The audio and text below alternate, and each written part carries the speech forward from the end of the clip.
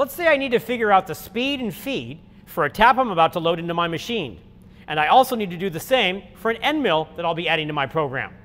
The calculator function on the NGC control makes this work easy.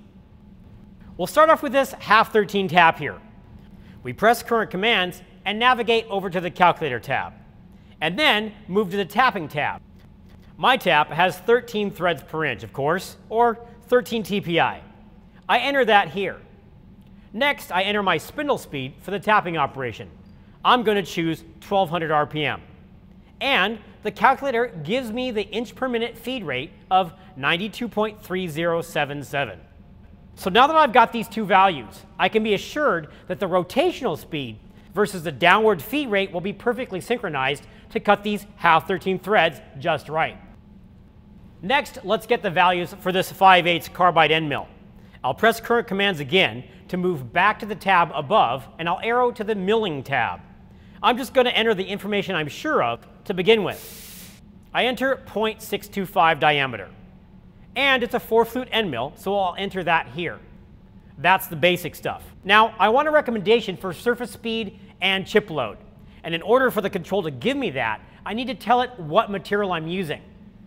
I'll be cutting some regular mild steel, so I arrow down to the work material field and select low carbon steel. I also need to make sure my tool material is correct, so I'll change that to carbide.